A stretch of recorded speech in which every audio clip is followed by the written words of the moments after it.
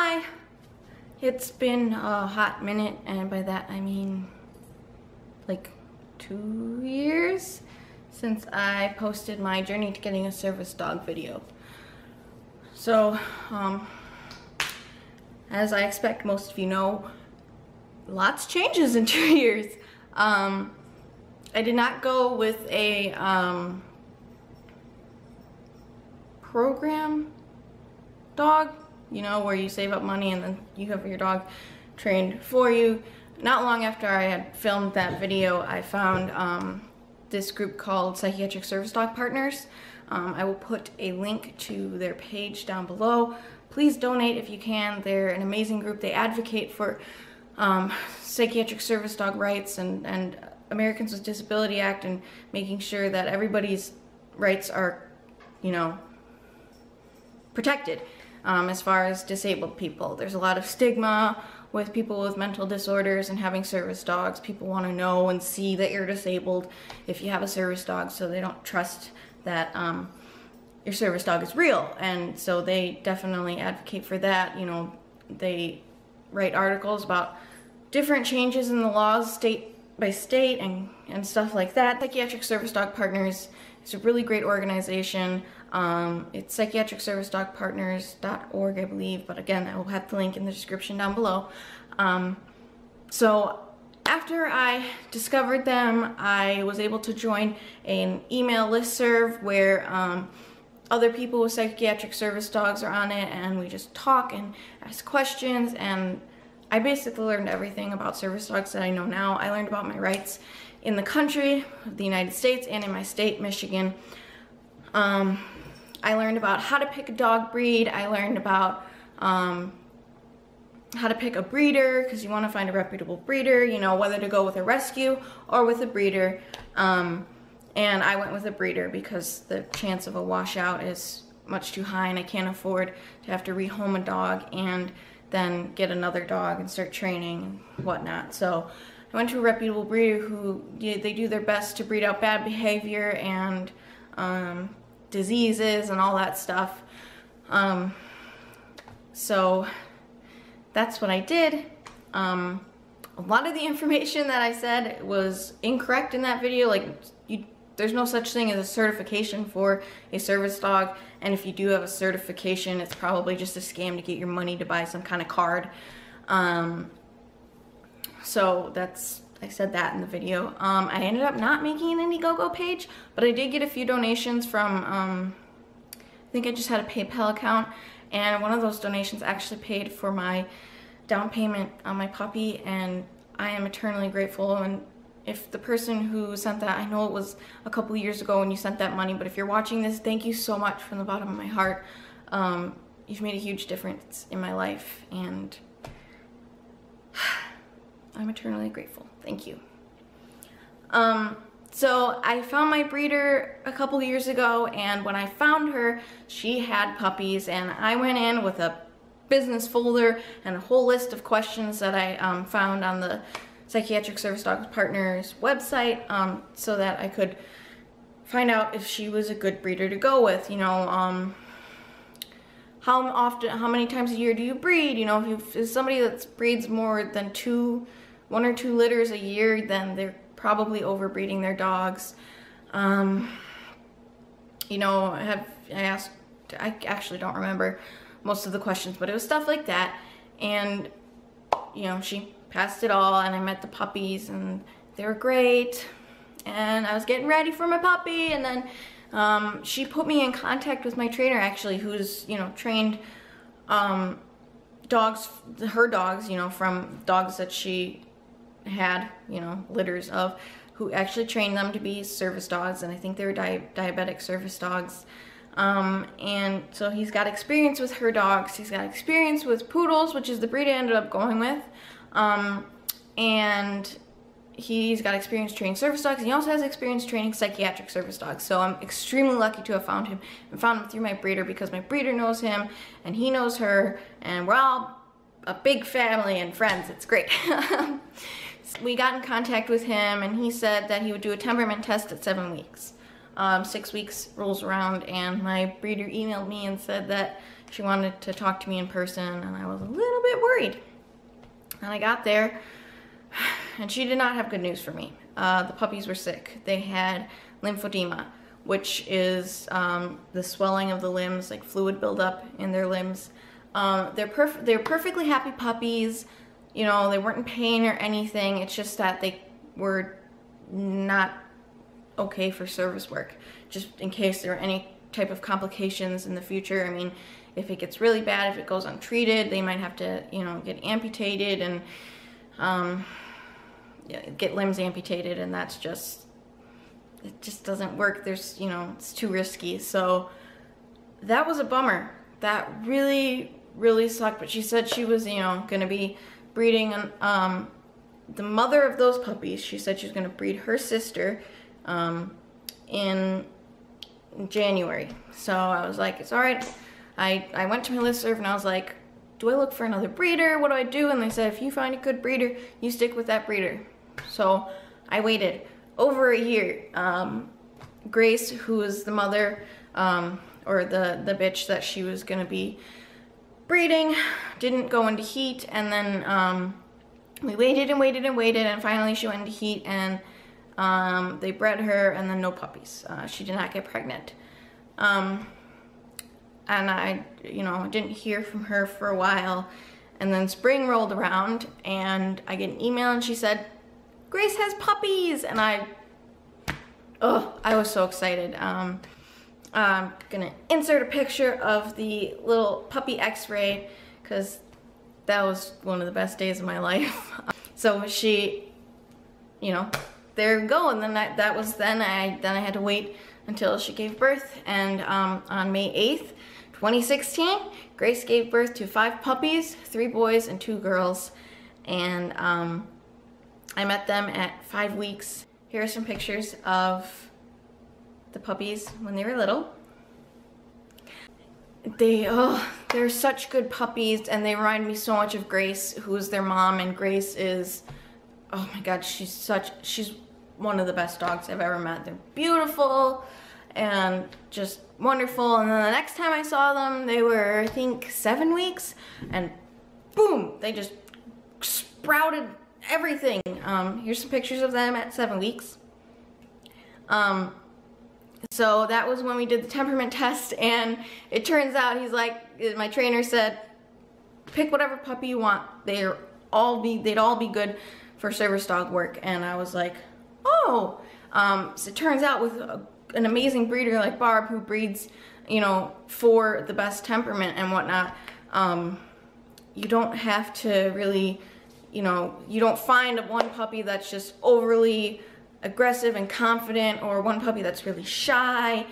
They're, you know, she breeds for continuity. So, um, they were also, they're also similar and they're also great. Um, I went and saw them again at eight weeks. Um, and I still, after that, I had picked a puppy and everyone's asking, are you getting a boy or a girl? When are you getting your puppy? And my whole family and friends are just waiting uh, on the edge of their seats. And I'm like, I don't know if it's a boy or a girl yet. We have to wait and see. And one friend was like, she's just leaving you hanging on the edge of your seat, just hanging on your thumbs here. And I was like, well, she's actually a really amazing breeder. She's going to a dog show and she's gonna have her handler take a look at them and the handler's gonna pick out which one's best for show and I'd probably get, you know, the second best from there because you know the one that's picked for show there's a lot lot goes into it you know with their body their posture how they walk um, their size and everything so um, but they also have to have a good temperament I asked her uh, after that if there was a timeline about um, you know when she thought I might get she'd be take, sending the puppies to new homes and she said the 10th or the 11th of July um, the 10th rolls around and I am uh, I come up with an excuse to email my breeder. I'm like, should I sign the contract with you or do I sign it right now? I'm not sure who to make the check out to, you or Rose Bar Poodles. You know, she's, so that's the name of her, you know, company, I suppose. I don't really know if it's a company, but, um, so after I said, that, so I came up with that excuse to email her and after I sent that I was constantly refreshing my phone. I was anxious, refreshing my email, I should say. Anxious and doing it about every five seconds. You know, John, my fiance, by the way, I don't remember if I mentioned John in my last video, but John is, uh, was my boyfriend. We met in 2012, um, and we started dating in September of 2012, um, and then February or March, or was it April? I don't even remember when. Um, he proposed and now we're engaged. So my fiance John took my phone and he said, don't look at it anymore. And so I, you know, sat around crocheting and cleaning to distract myself, getting things ready for my puppy to come home. Um, at this point, um, I I had picked a name and everything. You know, I'd picked a name a long time ago um, I, that I thought would work for whether it was male or female. Um, I decided to name my poodle Winnie um, after my favorite um, cartoon and character and literary character of all time, Winnie the Pooh, um, who was, you know, a big part of my life growing up. And I thought, what better than Winnie? And then I thought about, you know, a longer name. I thought this was very clever, and I still love this. Um, full name would be Winnie the Poodle, uh, like Winnie the Pooh, Poodle. But so um, we're you know waiting on Winnie and everything. Uh, it's Sunday, refreshing my email, and I get a text from my mom. She goes, "Any puppy news?" I said, "No, not yet." Um, and then John's sister texted me, and she said, "Have you gotten your puppy?" And I said, "No, I haven't heard from her since my breeder since Thursday," and I was really sad. And then, as soon as I had responded to that text. I looked at my email and I got an email and she didn't answer any of my questions. She just said, do you want to come get your puppy today? He's here and he's waiting for you. And then I was like, oh my God, it's a boy. And John and I ran out of the house and got in the car and got ready to go. And I forgot my phone, so we had to stop in the driveway and I ran back in, got my phone. Uh, we stopped to pick up a collar and leash that were way too big. But um, I got there and she said, the first thing she said to me, I got a good one for you. And um, this really warmed my heart. Um, you know, she she thought about me a lot while uh, having these puppies. You know, she was the one who got to spend every single day, every waking hour with them. So I trusted her to know like which one would be best for me. Um, and the reason she hadn't been able to respond to my emails because there was a a family picking out their puppy and they were choosing between the puppy I got and then his sister. Um, and because they had originally put a deposit down for a boy, but they kept going back and forth with this boy and this girl, and they spent two hours, which is crazy, with these two puppies. And Barb was, you know, going in and out of the house. She had her friends come. She's like, "Don't you leave me," to her friends, and she's like, "I don't know what to do." And um, the the puppy I ended up getting, one of her friends was holding him, and she said, "This this is the sir you need this, this is the puppy that Kelsey needs, you know. This is the one that's going to be a good service dog. And she said, I know, but these other people are looking at him. So fortune was in my favor and they picked the girl and I got there and I had met this puppy Thursday, um, the Thursday before that Sunday, and she had put him on the table to show me, you know, how how he could she could he was already good at stacking, you know, which is you know, uh, it's hard to describe. It's the posture you put your dog in for the judges to um, take a look at your judge or take a look at your dog during the dog show. Um, and I, I, had never ever seen a puppy just stand there and be groomed and you know at nine eight weeks this was. So um, she handed me my Winnie. I almost cried and I feel like crying now. Um, I waited a really long time for this puppy. And I just finally had him in my arms and it it was amazing. Um, got to bring him home and I've had him for two days now. Things have really turned around. Um, I don't know what to say.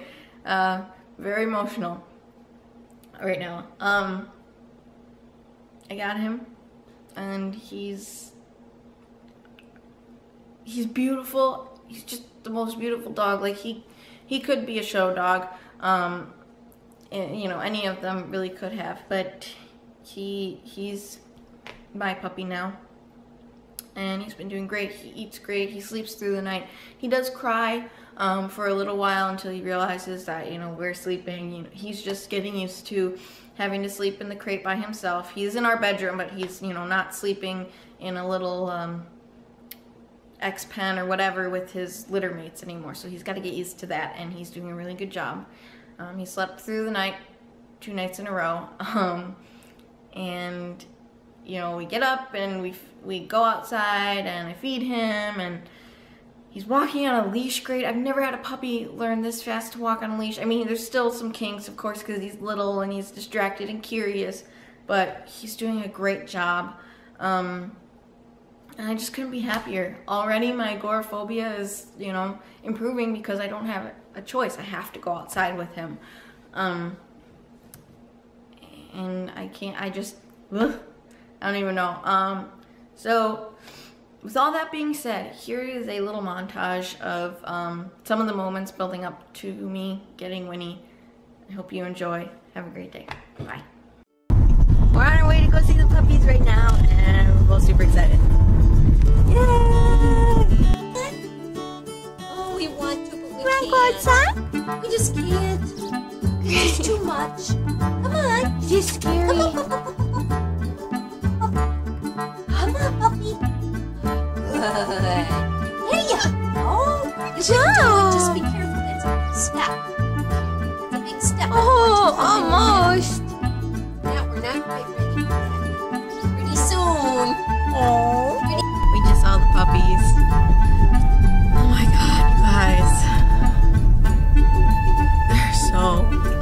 Adorable.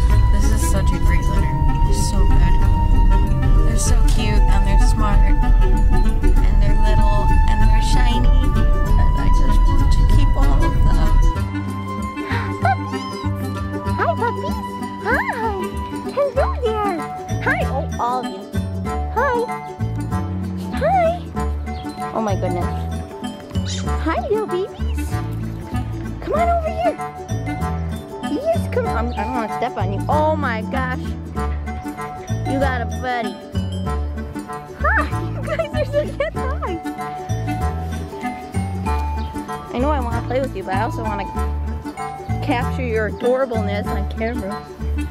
Look at you guys. Hi. Mr. You were gonna be Marco. you gotta go pee pee. You gotta go pee pee. Hi there. Hi. Yes, that's so cute.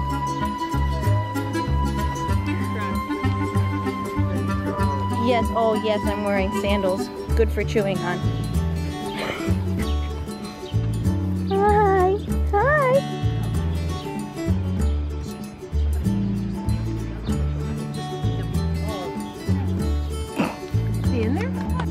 So Kelsey, how do you feel? Like right now, Yeah, like right now. my back hurts. And Um, I'm anxious to see the email from Mark. we're supposed to figure out today. We're still waiting. Getting my puppy today or tomorrow. Hopefully today. Yeah, Let's let's be honest. class starts Tuesday. So. We really want to get excited, anxious. Yes. She keeps checking her. Uh, she keeps checking her email on her phone every like three seconds, which is kind of uh, That's why crazy. Yeah.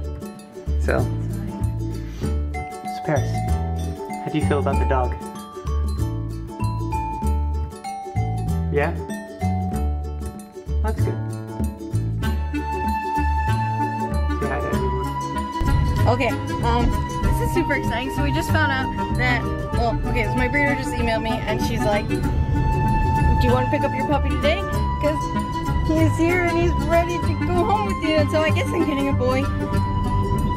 And she knows which one, so I'm really excited. Calling out back because I forgot my phone, so I had to run back inside and get it. Um, um, I don't know what else to say. I'm really excited. He's finally here. Weenie.